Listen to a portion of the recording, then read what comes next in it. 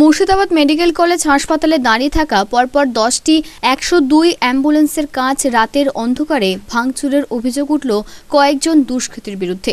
Murshidabad medical college হাসপাতালের একশো দুই অ্যাম্বুলেন্স মালিকদের দাবি, গতকাল রাত্রে সাড়ে এগারোটা নাগাদ অ্যাম্বুলেন্স চালকরা এসে দেখতে পান তাদের পার্কিংয়ে দাঁড়িয়ে থাকা পরপর দশটি একশো দুই অ্যাম্বুলেন্সের কাঁচ ভাঙা রয়েছে।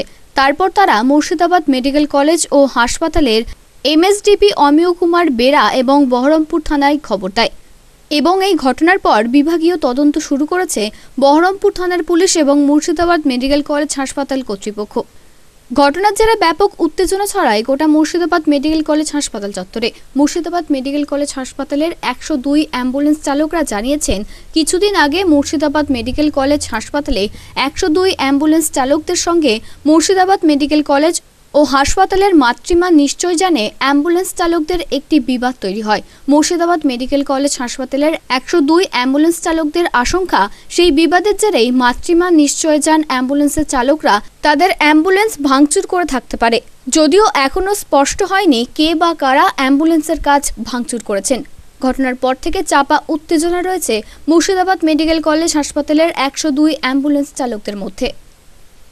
এগারোটা পঞ্চাশ নাগাদ আমাদের গাড়ি এখানে, চারখানা গাড়ি নাইটে ওয়ান ছিল।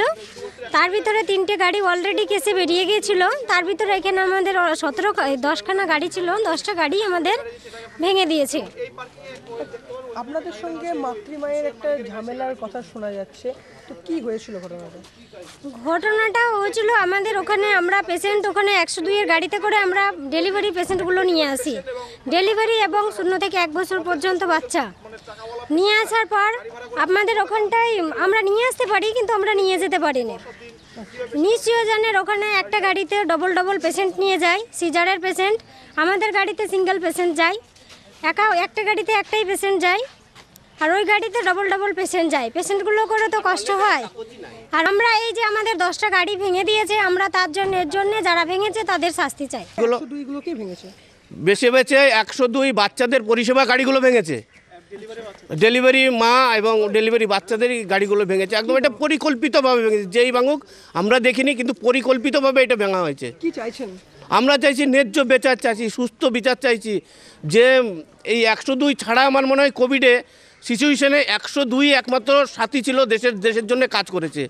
বর্ডারে যেমন বর্ডারে যেমন লড়াই করে বিএসএফরা তো সেরকম লড়াই করেছে আমার একশো দুইয়ের পাইলট অ্যাটেন্ডেন্ট ছেলেমেয়েরা। আর আজকে তাদের উপর অত্যাচার করে, আজকে রাত্রে দেখা গেলো একটা ফেক কল আমাকে ডেকে নিয়ে যাচ্ছে। ডেকে নিয়ে গিয়ে যে আমাকে মারবে না, তার আমার কি আমার কি ইয়ে আছে?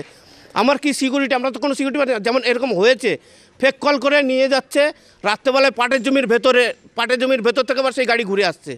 ফেক কল আমাদের অফিস তো দেখছে না কে ফেক কল করছে, সে তো কলকাতা থেকে আমাদের কল দিচ্ছে। এর মধ্যে রিসেন্ট এই এক মাসের মধ্যে একটা ফোন থেকে তিনটে করে গাড়ি বুক করে নিয়ে সেই গাড়ি আবার সেখান থেকে রিটার্ন এসে মুর্শিদাবাদ থেকে অর্ক রায় রিপোর্ট আনন্দ বার্তা।